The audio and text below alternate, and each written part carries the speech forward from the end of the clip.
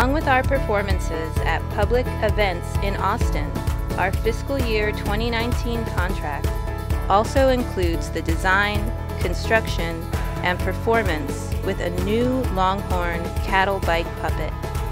This video shows our work in progress and our display of the work in progress at the Juneteenth 2019 celebration. We look forward to completing and performing with the Longhorn in the interim year. Thanks for watching and thanks for your support.